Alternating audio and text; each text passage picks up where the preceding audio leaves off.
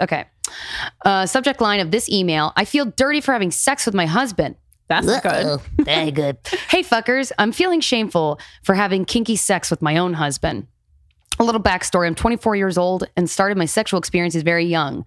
I was 14 when I lost my virginity and was very sexually explorative with a decent amount of guys up until I met my husband. I was 17, he was 19. A month later, I was pregnant and we were both married before my daughter was born.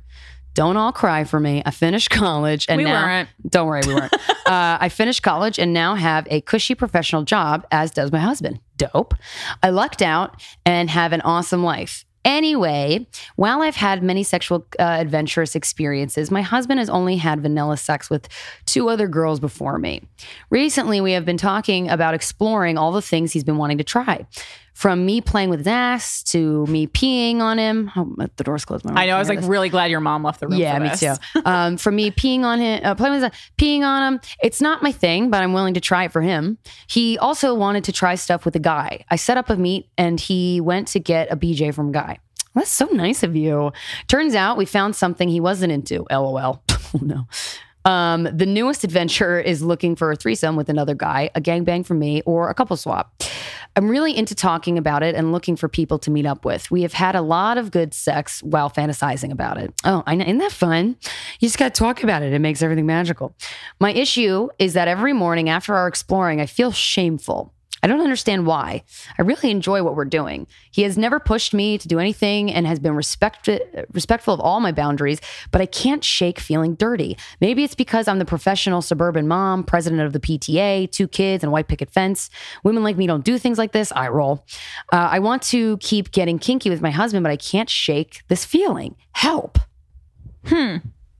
Uh, gosh. You didn't mention religion in those things. So I was like, maybe it was religion. But it seems like you were kinky and stuff all along. And now that your husband's on board, you're like, wait, I feel bad. But uh, maybe you maybe feel bad is part of the fun, as long as it doesn't make you, I mean, to an extent. Because I remember, like, I'll never forget that freaking when we interviewed Dan Savage, that advice he gave me when I would kept seeing that one guy for five years. And I kept going back to him and I hated myself for it. And he was o- the older guy. And Dan was like, Yeah, but maybe that's part of why you liked it. And I was like, Oh shit. And he kind of like made me turn that guilt into like part of the reason why it was fun. And he was right. I mean, that instance, he was right.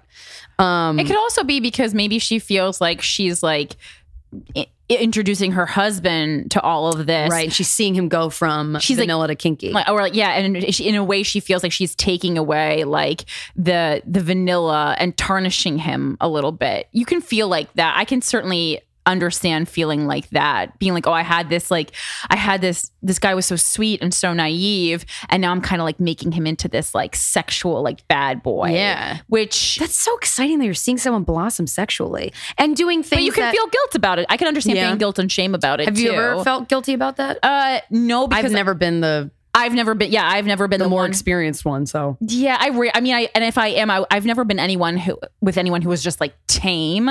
So Right. even if I was like a little more sexual, it wasn't enough that I would feel that like the, the discrepancy between us. right, right. Um, But you know, I I think shake that feeling because it seems like your husband is enjoying it. And if you're unsure, you seem pretty sure that he's having fun. Maybe ask him just to get some peace of mind.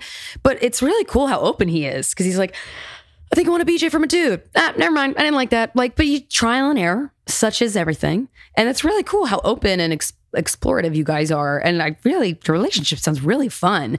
And the whole PTA mom, pre- president of the PTA, mom of two kids, white picket fence.